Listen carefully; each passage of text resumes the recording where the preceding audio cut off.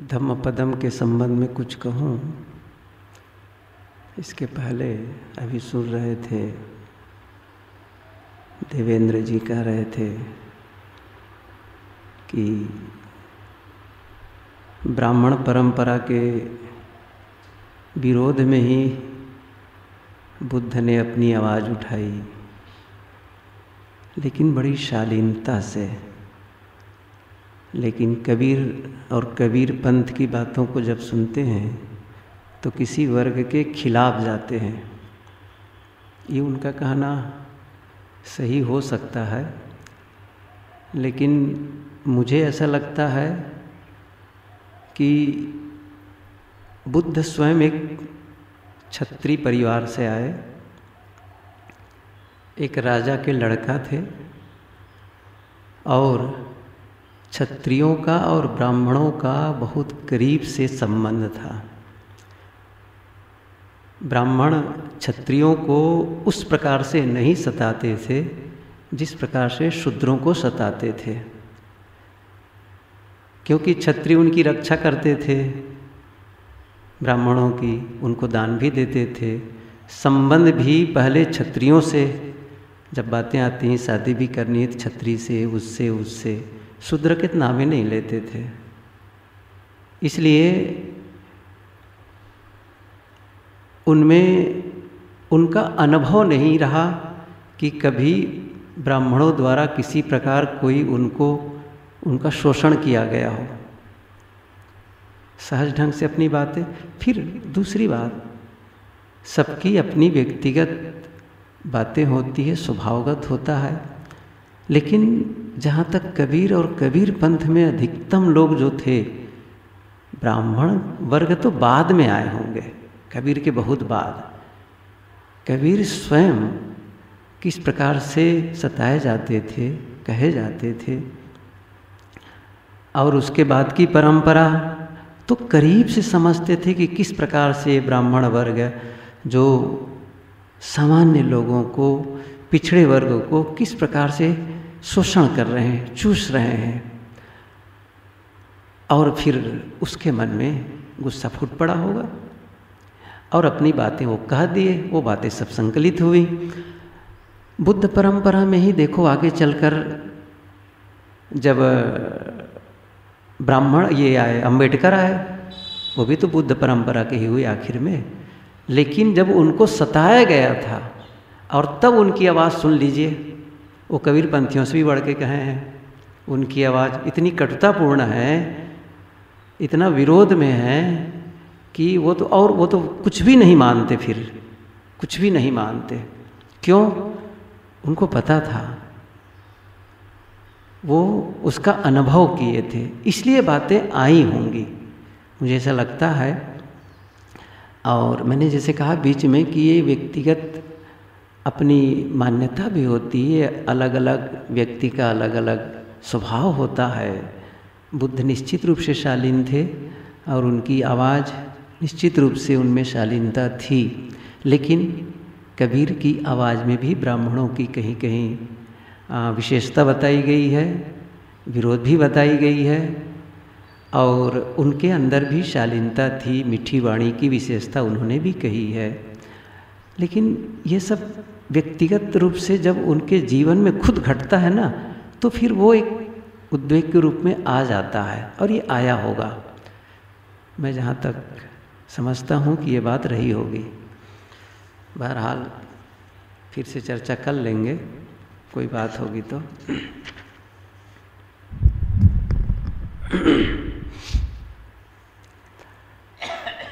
Puff बग्गो में आज ग्यारहवीं गाथा है। न पुफ गंधो पटिवात मेति न चंदनम तगर मल्लिकावा सतंच गंधो पटिवात मेति सब्बा दिशा, सब पुरुषो पवाति। न पुप्पगंधो न पुप्पगंधो पटिवात मेति पुप्पगंधो पुष्प की गंध। न पट्टिवात में थी वायु से उल्टे नहीं जाती। यदि पूरब में एक फूलों की बाग हो और पूरब से हवा आए तो वो गंध हमारे तक आएगी। लेकिन यदि पश्चिम से हवा बह रही हो तो फूल की गंध हमारी ओर नहीं जाएगी, वो पश्चिम की ओर चली पूरब की ओर चली जाएगी। तथागत बुद्ध कहते हैं, पुष्प की सुगंध वायु की उल्टी दिशा में नहीं जाती। न तगर, न चंदन तगर मल्लिका व न चंदन, न तगर और न मल्लिका की गंध वायु के विपरीत जाती है, परंतु सतंज, सज्जनों की गंधो, सुगंध, पटिवात में थी वायु की प्रतिकूल दिशा में भी जाती है। सब पुरुषों सत्पुरुषों की सुगंध सब दिशा, सभी दिशाओं में पवाती, फैलती है। ये वर्ग ही है पुष्प वर्ग। और उसका उदाहरण दे करके बातें बताई गई हैं। यहाँ बात है सत्पुरुषों की सुगंध सब दिशाओं में फैलती है। वस्तुतः सब दिशाओं में ही नहीं, बल्कि सब देश और सब काल में। संसार के पुराने महापुरुषों की सिंध आज भी है। नहीं है तो क्या हुआ? बल्कि काल जितने बीतते जाते हैं, उनके महत्व को लोग समझते चले जाते हैं। और भिन्न देश में हो, कोई बात नहीं, भारत में नहीं जन्मा, लेकिन बाहर में भी कोई जन्मा हो। और संत स्वभाव मानवता के हित के लिए उनका जीवन हो, उनकी भी सुगंधी है। भिन्न देश काल में आत्म संयमी पुरुष यदि न हुए होते तो और आज न हो और आगे न होते रहें तो फिर सामान्य लोगों को जो आध्यात्मिक शिक्षा है, आध्यात्मिक सहारा कौन देगा? कोई तो है। इसलिए मनुष्य यदि कोई सद्गुण को धारण करता है, अच्छे पथ पे चलता है, पर हित के लिए काम करता है तो उसकी महिमा लोग स्वाभाविक समझते हैं। यहाँ पर तथागत बुद्ध कह रहे हैं, पुष्प की सुगंध वायु की उल्टी दिशा में नहीं जाती, और न चंदन, तगर तथा मल्लिका। चंदन, तगर और मल्लिका ये तीन सुगंधित वस्तुओं के नाम आए हैं। चंदन के बारे में तो जानते ही हैं। प्रसिद्ध है। तगर एक वृक्ष, जिसकी जड़ गंध द्रव्य के रूप में काम देती है और कोकण तथा अफ़गानिस्तान आदि में ये होती है। मल्लिका, बेले की जाति का एक सफ़ेद और सुगंधित फूल। नाम है। नाम कुछ भी हो, बात यहाँ पर है पुष्प की सुगंध या कोई भी सुगंधित द्रव्य। वह एक दिशा में, उल्टी दिशा में नहीं जाती है, लेकिन महापुरुषों की सुगंध, सज्जनों की सुगंध सभी दिशाओं में जाती है। सज्जनों की सुगंध उल्टी दिशा में भी जाती है। हर आदमी को एक सहारे की ज़रूरत होती है। बहुत कम लोग होते हैं जो दूसरों से सहारा लिए बगैर अपना काम कर लें, आध्यात्मिक साधना का काम कर लें। जहाँ तक बुद्ध और कबीर की बात आती है तो जिन बातों को लेकर के बुद्ध और कबीर की महिमा आज है, उनके पीछे उसकी परंपरा नहीं थी। लेकिन इसका मतलब नहीं कि पुराने कुछ विचारकों का उनको सहारा नहीं मिला। उनको सहारा मिला। इसलिए मनुष्य को एक आधार चाहिए। सुख शांति कहाँ से मिले, कैसे हो, क्यों? मनुष्य कोई केवल भौतिक पदार्थ हो और एक मशीन हो जिसको तेल पानी दे दो, बस चले। ऐसा नहीं है कि इसको रोटी, कपड़े और आवास दे दो, बस काम चले। ये जीवन निर्वाहिक वस्तुएँ हैं। जिनकी आवश्यकता तो है, लेकिन मनुष्य की असली खुराक आत्मज्ञान है आत्म शांति है, प्रेम और विश्वास है।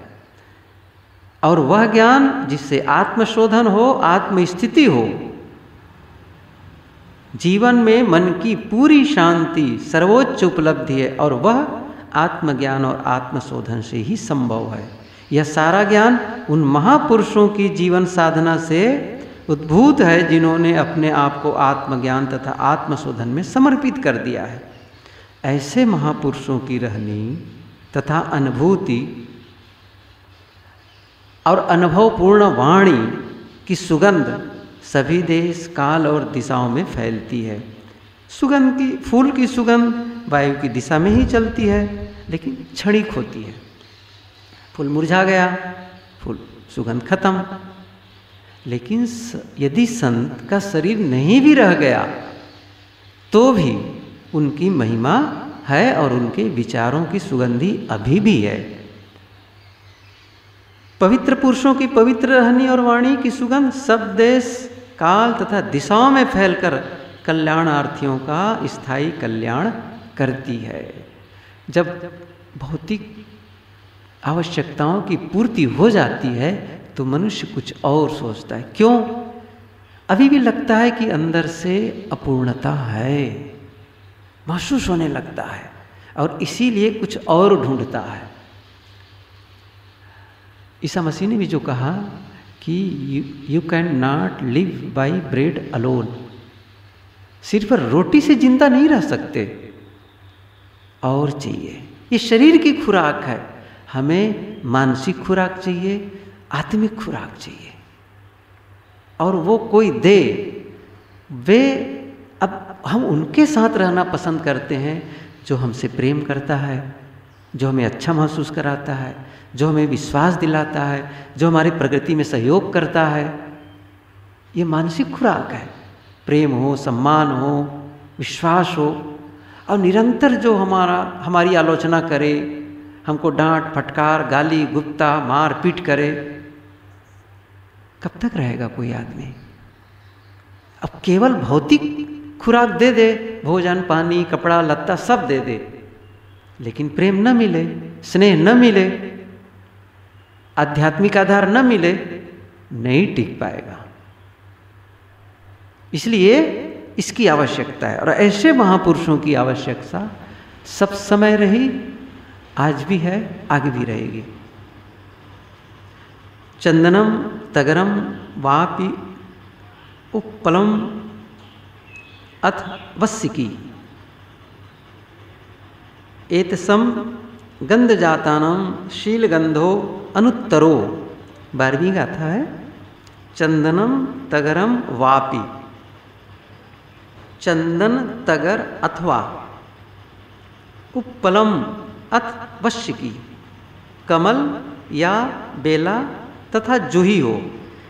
एतेसम गंध जातानम इन सब गंध के प्रकारों से कई प्रकार के नाम लिए, चंदन, तगर, कमल अथवा वार्षिकी, बेले या बेले का फूल हो या जूही का, इन सब की इन सभी गंधों के प्रकारों से शील गंधो अनुत्तरो। शील की गंध सर्वोत्तम होती है।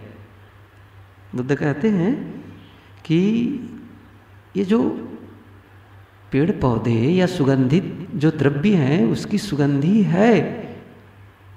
है, ठीक है। लेकिन शीलवान, शील की जो सुगंध है, वो सर्वोत्तम है।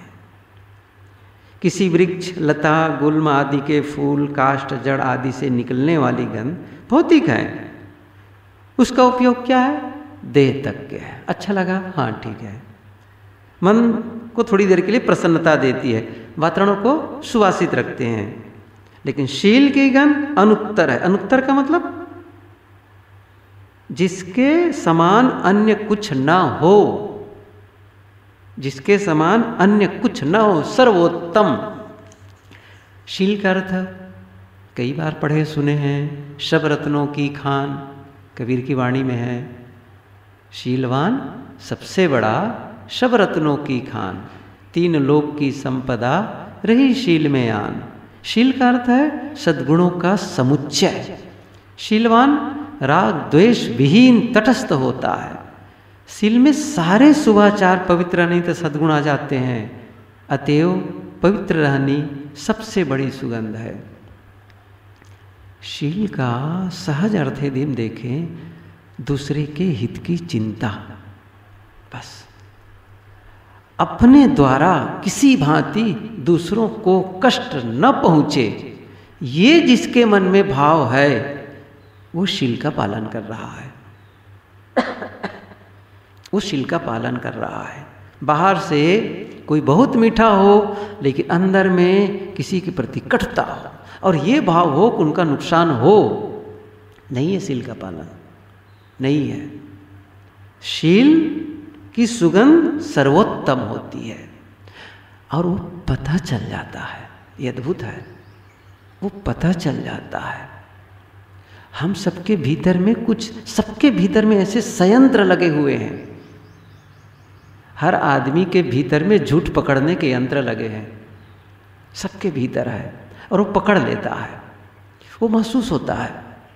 किसी न किसी शरीर, मैंने कहा ना, कई बार कहा, शरीर की भाषा है।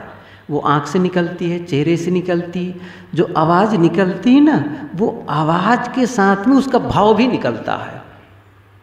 क्योंकि आदमी केवल आवाज़ नहीं भेजता है, अपने आप को भी प्रेषित करता है और वो चला जाता है। चला जाता है। वो ट्रांसमिट भी करता है तो रिसीव भी करता है। हर आदमी। केवल ये नहीं कि ट्रांसमिट करता हो रिसीव भी करता है वो। रिसीवर भी है वो। इसलिए शील बहुत महत्वपूर्ण है। एक गाथा और कहूँ, तेरहवीं गाथा है। अपमत्तो अयम गंधो या अयम तगर चंदन, चंदनी यो च शीलवंतम गंधो वाति देवेशु उत्तमो। जो यह तगर चंदन आदि की गंध फैलती है, अयम गंधो यह भौतिक गंध या अयम, यो अयम, जो यह तगर चंदन की गंध है, अपमत्तो अल्प मात्र है। यो च शीलवंतम गंधो और जो शीलवन की गंध शीलवान की गंध है, उत्तम उत्तम है यह देवेशु, देवताओं तक बाती फैलती है। बौद्ध लोग देव लोग मानते हैं। आज भी मानते हैं कि देव, कोई देवलोक है, वहाँ देवता रहते हैं। बौद्धों में भी है, जैनों में भी है। ये उनकी मान्यता है। वस्तुतः सज्जन ही देवता है। शीलवानों की सुगंध सज्जनों में फैलती है। संतों की सुगंध सज्जनों में फैलती है। दुर्जन को पसंद ही नहीं आएगा। दुर्जन तो शीलवानों तथा उनकी गंध से अपने को अलग ही रखना चाहते हैं। सज्जन मनुष्य ही शीलवानों की संगत करना चाहते हैं और उनके सद्गुणों से लाभ उठाते हैं। यहाँ पर सरल रूप से जो तथागत बुद्ध क्या कह रहे हैं? जो भौतिक सुगंध है, उसका आयाम थोड़ा है, सीमित है। लेकिन आध्यात्मिक सुगंध बहुत विराट है उसका आयाम। बहुत विराट है। ख्याल आया? आप लोग भी देखे होंगे बुद्ध सीरियल। बुद्ध और यशोधरा का संबंध जानते हैं, मामा और बुआ का संबंध, एक की मामा, दूसरी की बुआ, ऐसे ही संबंध था। तो यशोधरा बचपने से आती रही और बुद्ध के साथ स्वाभाविक रूप से उनकी जो लगाव थी, उनके साथ खेलना, कूदना, मिलना, अब बड़ी हो गई थी। सिद्धार्थ भी बड़े हो गए थे, देवदत्त भी बड़े हो गए थे और यशोधरा बड़ी हो गई थी, आई। तो फूल लाए उनके देने के लिए। सिद्धार्थ भी लाए और देवदत्त भी लाए। देवदत्त एक टोकरा भर के लाए। सीरियल में जैसे आप लोग देखे होंगे। तो और सिद्धार्थ भी लाए, एक फूल लाए, शायद कमल। या किसी का फूल लाए, कमल का फूल लाए। अब वो भी देना चाहे, वो भी देना चाहे, लेकिन सिद्धार्थ के दिए हुए फूल को स्वीकार करती है। और उसकी महिमा गाने लगी। उसने कहा, एक फूल की इतनी महिमा गा रही हो। देवदत्त ने कहा, इतना मैं टोकरा बर्फ़ के फूल दिया हूँ, इसके बारे में कुछ नहीं बोल रही हो? तो उन्होंने कहा क्या कोई अंतर है फूल में? उन्होंने कहा, पूछा, क्या कोई अंतर है फूल में? यशोधरा ने कहा कि वैसे अंतर तो नहीं है। वैसे अंतर तो नहीं है फूलों में, लेकिन अंतर है। क्या अंतर है? आपने फूल अपने नौकरों से मंगवाया है, कर्मचारियों से मंगवाया है, और सिद्धार्थ स्वयं फूल लेकर के आए हैं जा कर के, और तब तक उनके पैर में कीचड़ लगा हुआ था। स्वयं फूल लेकर के आए। कितना अंतर है ये। किसी नौकर से फूल मंगवाना, स्वयं जाके तोड़ के लाना, भाव क्या है बताइए? क्या गया भीतर में? ये है सुगंधी। ये है सुगंधी। इसलिए आध्यात्मिक सुगंध का आयाम विराट है। जब हम अपने भी जीवन में, इस प्रकार अपने जीवन में सद्गुणों का समुच्चय करेंगे तो निश्चित रूप से हमें सुकून मिलेगा। और दूसरों को लाभ होता है, ये तो सेकेंडरी भी है। ये बात की बात है। लोग महिमा अब गुरुदेव जी नहीं रह गए, अब महिमा गा रहे हैं। उनको क्या फ़ायदा होगा? कोई फ़ायदा नहीं है उनको। उनको कोई इससे लेना देना नहीं है। इसलिए जो इन्होंने ये काम किया, उनका लाभ तो हो गया, लेकिन ऐसे लोगों से और लोग लाभ लेने वाले मिल जाते हैं। साहेब, बंदगी।